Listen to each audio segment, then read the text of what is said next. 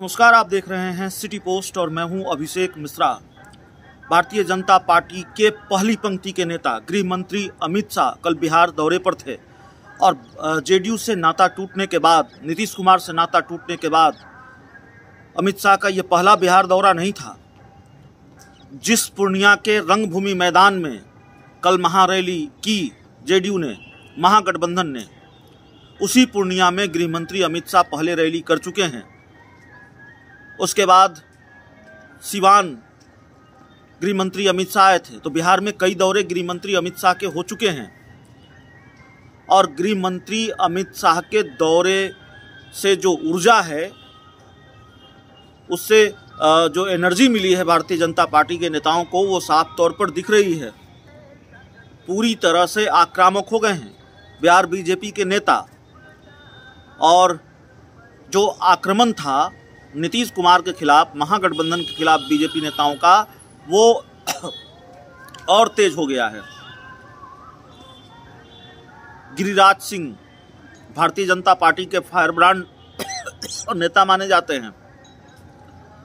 और उन्होंने आज मोर्चा खोल दिया नीतीश कुमार के खिलाफ, बिहार सरकार के खिलाफ। और जो बयान आ रहे हैं, गृह मंत्री अमित शाह के जाने के बाद बीजेपी नेताओं के। ऐसा लगता है, टास्क ही यही सौंपा गया है गृह मंत्री अमित शाह की तरफ़ से। बिहार के बीजेपी नेताओं को आक्रमण को तेज करना है। नीतीश कुमार के खिलाफ, महागठबंधन के खिलाफ।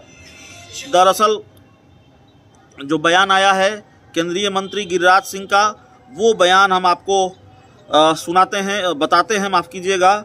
गिरिराज सिंह ने बाकायदा आज एक प्रेस कॉन्फ्रेंस की है।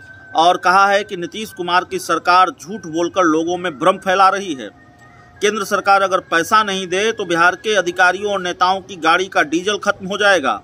बिहार सरकार के वित्त मंत्री और मुख्यमंत्री एनडीए से अलग होने के बाद केंद्र से पैसा नहीं देने का आरोप लगाते रहते हैं। लेकिन केंद्र की सरकार ने हर मौके पर बिहार की मदद की है और बिहार के विकास के लिए अब तक हज़ारों करोड़ रुपए राज्य सरकार को दे चुकी है।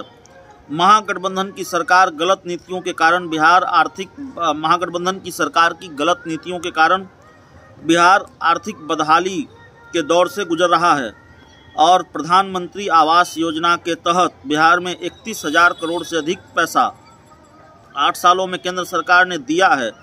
बिहार में अभी तक तेरह हज़ार छः सौ छियालीस भूमिहीनों को ज़मीन नहीं दी गई है और बिहार सरकार ने डेढ़ लाख आवेदकों का आवंटन अभी तक विभाग ने अटका कर रखा है। तमाम तरीके के ऐसे आरोप गिरिराज सिंह ने लगाए हैं और हमला किया है नीतीश सरकार पर।